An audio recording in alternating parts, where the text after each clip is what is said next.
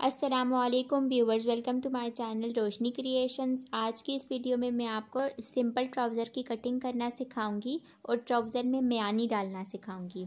उससे ट्राउज़र में खिंचाव नहीं आता और ट्राउज़र फटता नहीं है।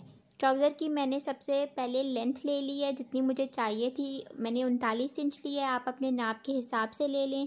और इसकी जो मैंने विर्थ है, वो पंद्रह इंच ली है। इसको मैंने इस तरह से डबल करके रख लिया है। अब मैंने 16 इंच पे एक साइड पे निशान लगाया है। अब मैंने नीचे इसके पाइंचे का पहले निशान नहीं लगाया। मुझे जितना पाइंचा चाहिए, इस निशान पे मैं रख के दोबारा से लगा लूँगी। ये देखें, इस तरह से मैं तिरछा निशान लगा रही हूँ और मुझे जितना पाइंचा खुला चाहिए, मैं उतना रख रही हूँ। आप अपने हिसाब से इसको ज़्यादा या कम कर सकती हैं। ये देखें, ये इस तरह से तिरछा मैंने निशान लगा लिया है। अब इसका पाइंचा देखें, दस इंच का बना है।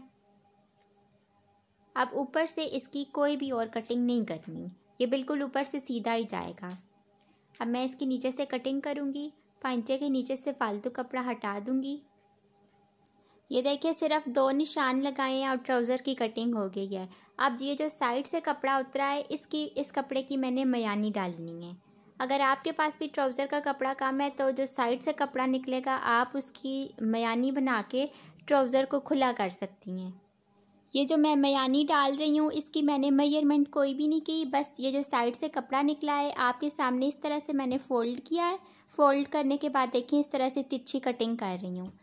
ये किस तरह से डबल पीस मेरे पास आ गया है, ये अब मैं इधर लगा दूँगी। इससे ट्राउज़र खुला हो जाएगा और खिंचाव भी नहीं आएगा। अब मैं इसकी सिलाई करके बताती हूँ। अब मैं पांचे की सिलाई कर रही हूँ। पांचे को मैंने डबल कर लिया। पांचे के साथ मैंने कोई बुकरम कुछ भी नहीं लगाया। सिर्फ़ मैंने इसको इस तरह से डबल किया है नीचे से और एक सिंगल सिलाई लगा रही हूँ।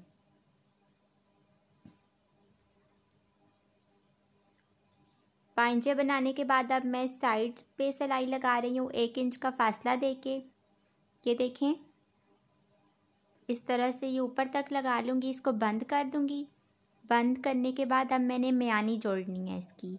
ये देखिए, मयानी को मैंने रखा है और जितनी इसकी लंबाई ट्राउज़र के साथ आ रही है, उसके साथ मैंने एक कट लगा लिया है ताकि मुझे जोड़ने में आसानी हो। अब मैं इसे खोलूँगी। ट्राउज़र का सेंटर और मयानी का सेंटर मैं ऊपर नीचे रखूँगी और जो मैंने कट लगाया है, मयानी की लंबाई उस तक आएगी, इसको मैं जोड़ लूँगी। ये देखिए, दोनों सेंटर ऊपर नीचे आ गए हैं। अब इसको मैं ये एक साइड से जोड़ लूँगी। एक पाँव का गैप दे के सीधी सिलाई लगाऊँगी। अब ये ट्राउज़र की एक साइड के साथ ये जुड़ गई है। मयानी डालने का ये आपको मैंने बहुत ही ज़्यादा आसान तरीका बताया है। मयानी डालने के काफ़ी सारे तीन चार तरीके हैं, लेकिन ये सबसे ज़्यादा आसान है तो मैंने आपको ये सिखाया है। ये देखें, ये अब एक साइड के साथ जुड़ गया है।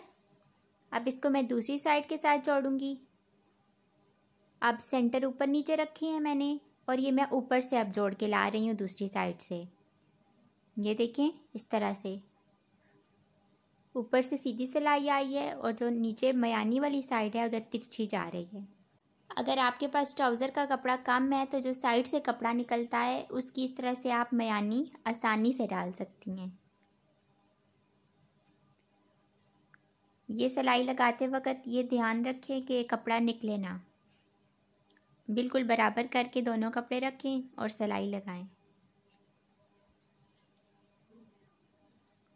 ये सिलाई लगाने के बाद इसके ऊपर मैं इसका नेफ़ा बना रही हूँ। नेफ़ा बनाना भी मैं आपको सिखा चुकी हूँ पहले कई दफ़ा। इस तरह से मयानी डाल के ट्राउज़र में खिंचाव भी नहीं आता और ट्राउज़र फटता भी नहीं है। अगर आपको ये वीडियो अच्छी लगी है तो प्लीज़ मेरे चैनल को सब्सक्राइब करें और वीडियो को लाइक करें। इन एक नई वीडियो के साथ दोबारा आऊँगी। तब तक के लिए अल्लाह